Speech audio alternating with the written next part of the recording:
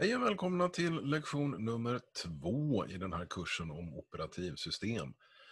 Eh, den första lektionen handlar om själva kursen, så det här är ju egentligen då den första lektionen som faktiskt handlar om operativsystem.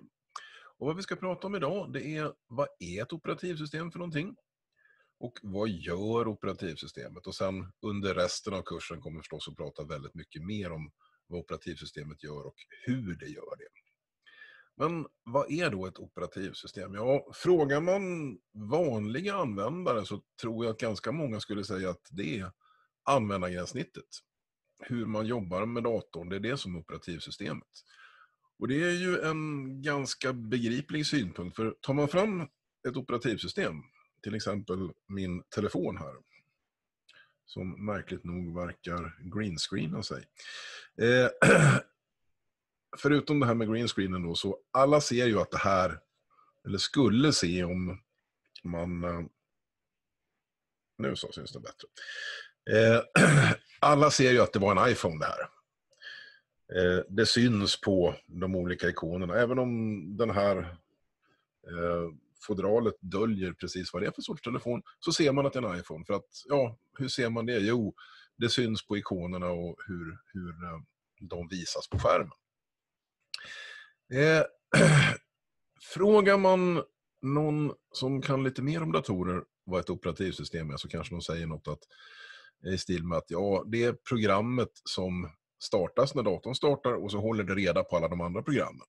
Om jag kör Word och Excel och eh, en webbläsare och ett spel, jag kan ha igång alla samtidigt i olika fönster, men operativsystemet håller reda på allihopa. Och det är också ett riktigt svar. Eh, mer avancerade användare igen då skulle kanske svara någonting i den här stilen att ett operativsystem är programvara som erbjuder en virtuell maskin. Vad då erbjuder en virtuell maskin? Jo, datorn har en massa hårdvara.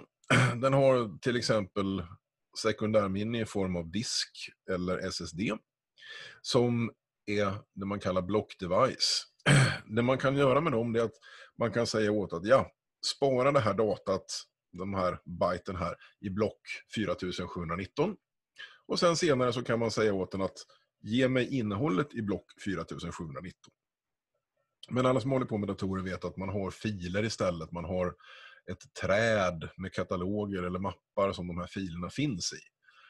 Och det där är ju inte någonting som finns i hårdvaran utan det är operativsystemet som låtsas att hårdvaran ser ut på det viset. Den döljer hårdvarans riktiga utseende, blocken på disken, och ger oss istället en virtuell maskin, en låtsasmaskin, som har filer och mappar.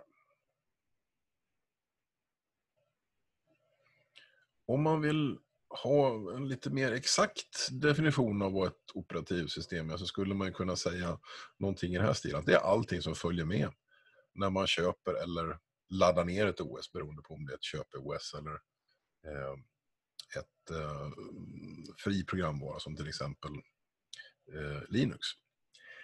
Eh, det där är inte helt okontroversiellt. Till exempel webbläsaren Internet Explorer som ingick i Windows. Det var väldigt kontroversiellt om den egentligen var en del av operativsystemet eller inte. För Microsoft på 80-talet så var de väldigt dominerande när det gäller skrivbordsdatorer. Eh, de hade nästan hela den marknaden. Och sen på 90-talet så plötsligt kom internet. Och Microsoft hängde inte riktigt med där i början. Och det kom en webbläsare som heter Netscape. Som alla använde. Man laddade ner den, installerade och så kunde man surfa på webben. Och Microsoft ville ju ha lite en egen webbläsare, så de skapade Internet Explorer. Och så ville de försöka ta kontroll över vilken webbläsare man använde genom att skicka med Internet Explorer med Windows. Och så påstod de att det var en så integrerad och viktig del av operativsystemet. Alltså webbläsaren var en del av operativsystemet. Så det gick inte att separera dem. Och ja, i själva verket var det ju bara det att de ville Eh, att man skulle använda deras webbläsare så att de hade kontroll över det internet som var på väg att komma. Om man ska titta på vad de här sakerna som följer med när man köper eller laddar ner sitt operativsystem är. Så eh, dels har vi ju det som man kallar för kärnan eller kernel på engelska. Eh, det är den delen då som man kan säga startar från början och håller reda på allting annat. Eh, det är inte riktigt sant egentligen att säga att den alltid kör, för med moderna interruptdrivna operativsystem så kan det hända att det är ingenting som kör alls. Men sen när någonting behöver göras så kommer ett interrupt och då börjar kärnan köra. Men det är i alla fall den centrala delen av operativsystemet, den som sköter om alltihopa. Sen finns det också systemprogram som är program som Eh, följer med operativsystemet och som används för ja, diverse systemhantering. Till exempel om man kör i eh, Linux och har skalet, eller shellen som man ofta säger, ja, då är det ett systemprogram. Det används eh, till diverse saker och följer med systemet när man får det. Eh, och förutom kärnan och systemprogram, så ja, vad finns på datorn? Jo, det är applikationsprogrammen, eller appar som man säger nu för tiden. Eh, de programmen som man har för att faktiskt göra någon nytta med.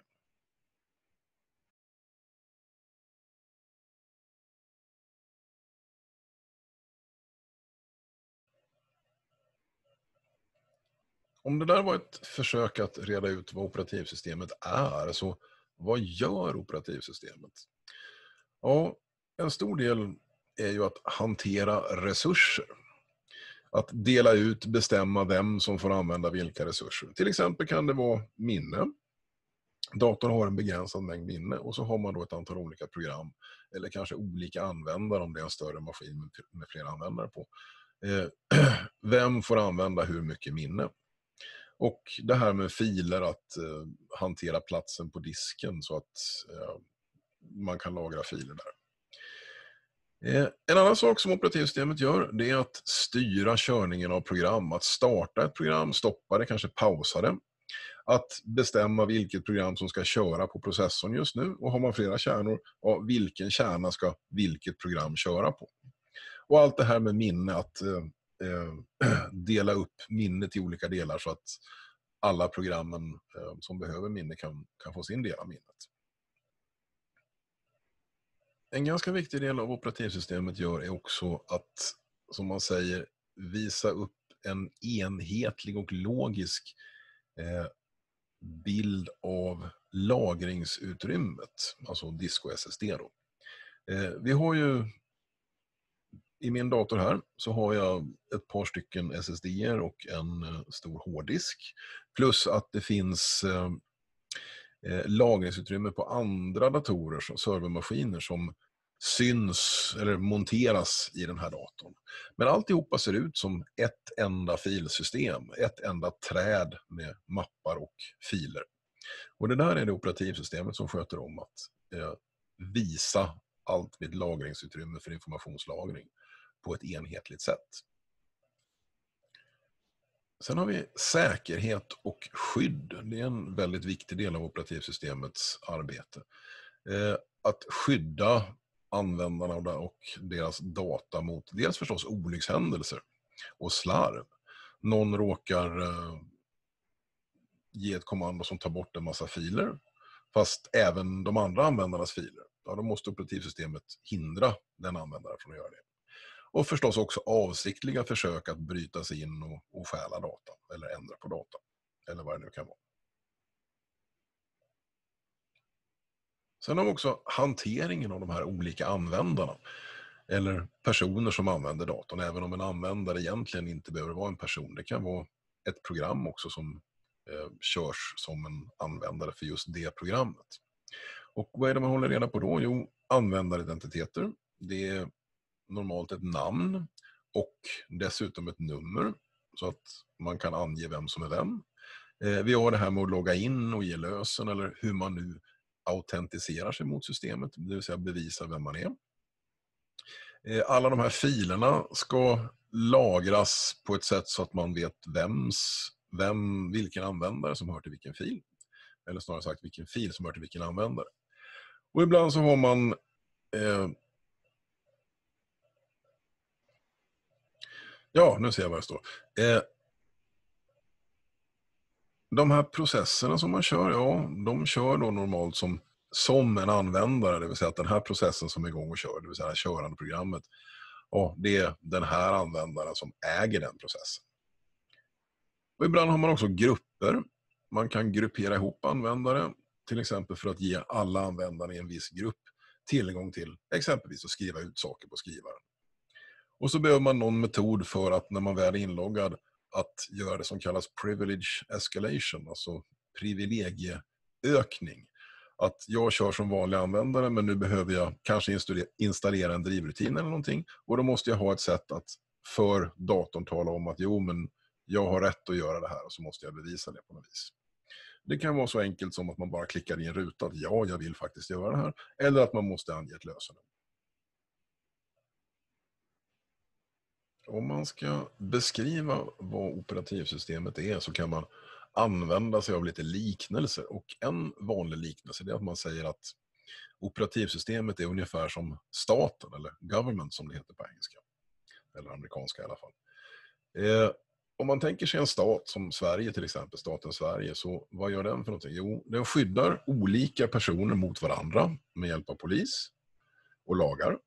Eh, den skyddar oss från yttre hot med hjälp av militär. Eh, den tar in skatter och sen delar den ut dem igen eh, till de som behöver dem. Och samma sak med operativsystemet. Den skyddar användarna från varandra genom att olika användare inte kan förstöra för varandra. De kommer inte åt varandras data på olika sätt. Den skyddar från yttre hot på ja, diverse sätt. Det kan finnas inbyggda brandväggar och Eh, man kan inte komma in i datorn hur som helst. Eh, den tar in skatter kanske den inte gör, utan den har ju, operativsystemet har ju egentligen hela datorn. Den äger hela datorn. Det äger hela datorn redan från början och delar ut resurserna till de användare som behöver det. En annan liknelse, om man är mer åt cirkushållet, det är att eh, operativsystemet är som en jonglör eller en illusionist. Att den genom att, ni kommer ihåg den här virtuella maskinen, den låtsas att varje en användare är den enda personen som jobbar med datorn. Med allt minne, hela CPUn. Jag kan ju ha hundra stycken program igång samtidigt.